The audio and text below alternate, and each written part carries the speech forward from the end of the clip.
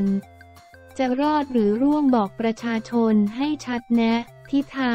ออกมาชี้แจงปมถูกกล่าวหาหลายกรณีเมื่อเวลา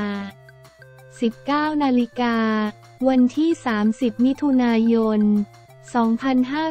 2566 ข่าวสดออนไลน์จัดรายการข่าวจบคนไม่จบ ดำเนินรายการโดยอันภูวนาถคุณพลิน และแขกลักษณาปันวิชัย หรือคำพกาในหัวข้อ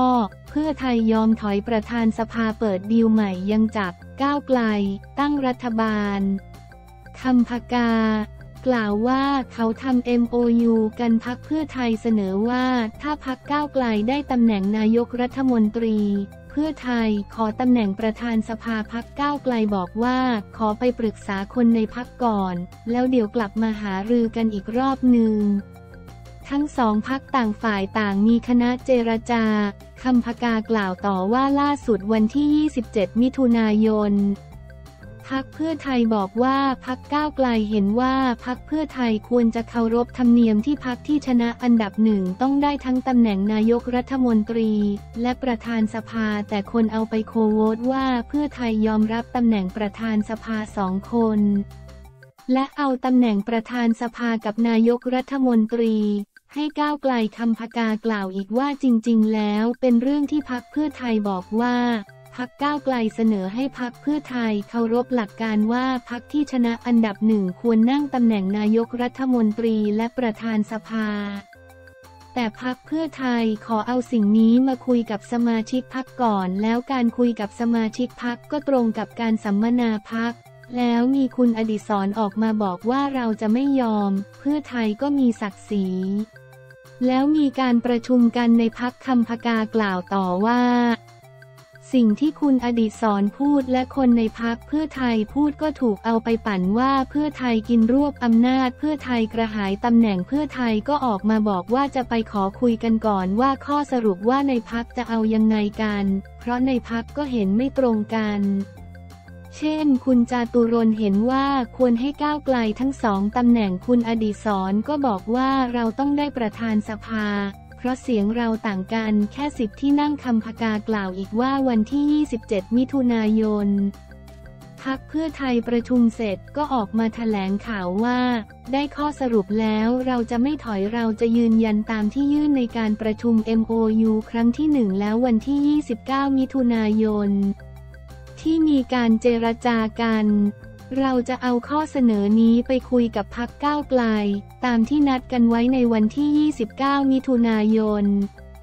แต่พักเพื่อไทยก็โดนด่าทั้งที่ยังไม่ใช่ข้อสรุปของทั้งสอง พักคำพกากล่าวต่อว่าปรากฏว่ากลางดึกประมาณ5ทุ่มวันที่ 27 มิถุนายนก้าวไกลขอเลื่อนนัดการเจรจาในวันที่ 29 มิถุนายน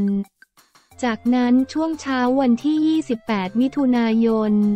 พักก้าวไกลก็ประกาศว่าจะเสนอนายปฏิพัฒน์สันติพาดาเป็นประธานสภาสุดท้ายมีข้อสรุปออกมาว่าจะเจรจาวันที่ 2 กรกฎาคม ซึ่งวันที่ 3 กรกฎาคมมีรัฐพิธีแล้ววันที่ 4 กรกฎาคม เปิดสภาคำพกากล่าวอีกว่าซึ่งปรากฏว่าเมื่อคืนวันที่ 29 มิถุนายน ก็มีข่าวจากแหล่งข่าวไม่ปรากฏชื่อว่า เพื่อไทยจะถอยเอาตำแหน่งรองประธานสภาสองตำแหน่งโดยมีเงื่อนไข คือถ้าพิธาไม่สำเร็จในการหาเสียง 376 เสียงโหวตให้ตัวเองเป็นนายกรัฐมนตรีจัดตั้งรัฐบาลไม่สำเร็จ ก้าวไกลจะยอมให้เพื่อไทยเป็นแกนนำจัดตั้งรัฐบาล และเสนอชื่อแคนดิเดต นายกรัฐมนตรีของเพื่อไทยทำให้คนด่าเพื่อไทยกลายเป็นตำบลกระสุนตกจากแหล่งข่าวที่ไม่รู้ว่าเป็นใครและมาจากไหนคำพกากล่าวต่อว่าเวลาที่เกิดความเสียหายไม่ได้เกิดความเสียหายที่พักเพื่อไทย แต่มันเกิดความเสียหายที่ชะตากรรมของคนไทย ว่าตกลงจะปิดสวิตช์สวสำเร็จกี่โมงรัฐบาลที่มาจากการเลือกตั้งจะจัดตั้งรัฐบาลสำเร็จกี่โมง ถ้าจ้องจะเชื่อแต่ข่าวปั่นบางที เวลาดู commentator ในรายการข่าว เช็คประวัติกันนิดนึงขอตั้งคำถามที่สำคัญว่าตอนนี้คุณพิธาควรจะออกมานั่งสบตาประชาชนได้แล้ว เหลือเวลาอีกสี่วันจะเปิดสภา ความคืบหน้าในการดีลกับสวของคุณไปถึงไหน ขอเรียกร้องให้พักก้าวไกลในฐานะที่เป็นแกนนำจัดตั้งรัฐบาลและส่งคุณพิธาเป็นแคนดิเดต นายกรัฐมนตรี คุณจะต้องเปิดพักตั้งโต๊ะแถลงว่า ขอยืนยันกับประชาชนว่าความสัมพันธ์ของพักก้าวไกลและพักเพื่อไทยไม่ได้ราวฉานอย่างที่สื่อเอาไปลือกัน เรามีคณะทำงานทำงานด้วยกันทุกวัน ขอให้หยุดการใส่ร้ายป้ายสีพักเพื่อไทย ถ้ายังมีการใส่ร้ายป้ายสีพักเพื่อไทยอยู่ สุขภาวะของพักร่วมรัฐบาลตะอ่อนแอลง แล้วสุขภาวะของพักฝั่งตรงข้ามจะเข้มแข็งขึ้นคำพกากล่าวต่อว่าวันนี้ความคืบหน้าในการเจรจากับสวที่จะโหวตให้คุณพิธาเป็นนายกรัฐมนตรี มีความคืบหน้าอย่างไรมีอุปสรรคอะไร และถ้าไม่มีแนวโน้มจะประสบความสำเร็จ ก็ต้องบอกว่ามีแนวโน้มไม่ประสบความสำเร็จ คุณต้องเอาความจริงมาพูดในวันที่มีการโหวตายกแนวโน้มว่าเราจะได้หรือจะร่วงออกมาพูดให้ชัดๆ แล้วข่าวลือพวกนี้จะปั่นไม่ขึ้น ถ้าเราร่วงด้วยเหตุผลดังต่อไปนี้ แผน B แผน C ของเราคืออะไร แต่ไม่ว่าจะเป็นแผนอะไรสถานะของพักร่วม 8 พักยังคงราบรื่นและมั่นคงเราสามารถยืนพูดได้อย่างเต็มปากเต็มคำ คำพกากล่าวอีกว่า ทั้งพักก้าวไกลและพักเพื่อไทยสามารถพูดได้ชัดๆว่าโดยธรรมชาติสองพักเป็นคู่แข่งกันแล้ว เรามีแนวคิดไม่ตรงกันเลย แม้แต่เรื่องเดียว เรื่องที่เราเห็นตรงกันมีแค่หนึ่งเรื่องคือปิดสวิตช์สว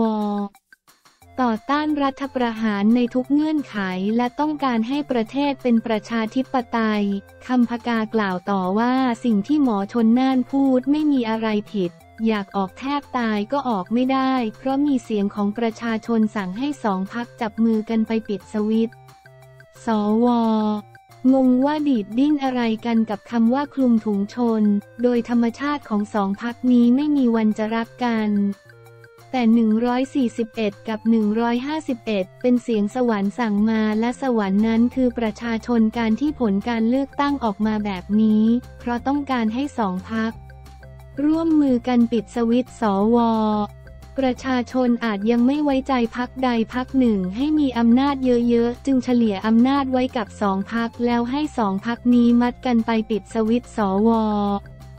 อันกล่าวว่าไม่ว่าคุณจะเลือกพักเพื่อไทยหรือพักก้าวไกลไม่ต้องมานั่งด่ากันเองในสภาวะนี้ แล้วก็ระแวงกันจนมโนเชื่อสิว่าเขาตกลงกันได้ต่อให้เขาเห็นต่างกันในที่สุดเขาจะตกลงกันได้ เพราะเขามีจุดหมายที่ยิ่งใหญ่กว่าร่วมกันอยู่ เชื่อมั่นว่าเขาจะจับมือกัน เมื่อถึงเวลาเขาต้องหาจุดร่วมเพื่อเป็นมติพัก พกากล่าวว่าส่วนกรณีที่จะเสนอชื่อพิธาไปเรื่อยๆ จนกว่าสวจะหมดวาระการที่คุณเสนอไปเรื่อยๆ จนสวหมดวาระแล้วไม่มีนายกรัฐมนตรีมาเลือกสวเขาก็จะรักษาการไปเรื่อยๆ ประยุทธ์ก็จะรักษาการไปเรื่อยๆ พักก้าวไกลต้องออกมาพูดอะไรบ้าง มันเหลือเวลาอีกสามวันคุณเป็นพักอันดับหนึ่งเป็นแกนนำจัดตั้งรัฐบาล จะทำเป็นพระเอกไม่ดราม่าไม่พูดเยอะไม่ได้ ตอนนี้มีข่าวโจมตีคุณพิธาทุกวัน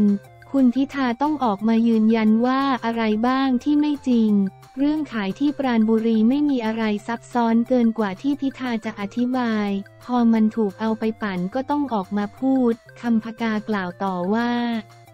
อะไรที่ออกมาชี้แจงหรือสร้างความเข้าใจกับประชาชน ซึ่งแปลว่าจะเพิ่มความชอบธรรมให้คุณในเวลาที่คุณจะไปดีลกับสวที่จะมายกมือให้